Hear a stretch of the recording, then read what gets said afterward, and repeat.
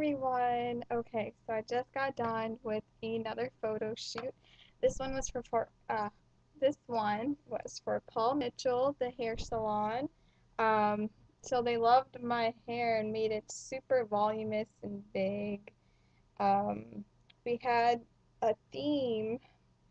We had a a girl that was supposed to be from the 40s era, and she had that iconic photo with the girl with the red headband on her head and like muscles and she's like posing like this to show like women empowerment. And then we had a 2007 uh no sorry a 70s girl um, which was more like black power our Panther girl. So they had her hair looking really fierce. Her makeup was amazing. Her outfit was amazing. And I was the 2010 Millennium girl. Um, so we had some cute outfits with me. There were pictures of me on the Blackberry and like holding a purse and just looking busy and business oriented. So yeah, I just wanted to show you guys my hair. It's so curly and just really big, which I like.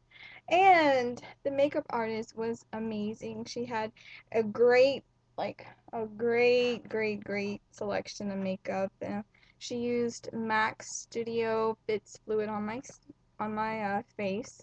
That's how it looks like. It's a bit dark, don't you think? I still like my um, Makeup Forever as opposed to MAC. Um, she did a great job with eye makeup. Um, no black eyeliner like I usually do, but it's a good change. I like it. And the photographer was amazing. He was very, very, very talented. Um, I don't know why makeup people love putting like greens and blues eyeshadow on me. I hate it. I don't think it looks good on me. I like neutral colors like brown, but according to them, it makes my eye pop or something. I don't know. I don't really like it too much, but whatever.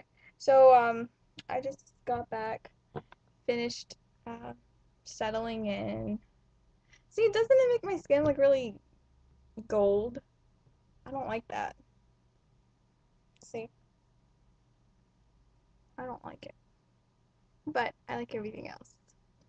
Alright guys, I gotta go study for a test. I will talk to you guys later. Bye.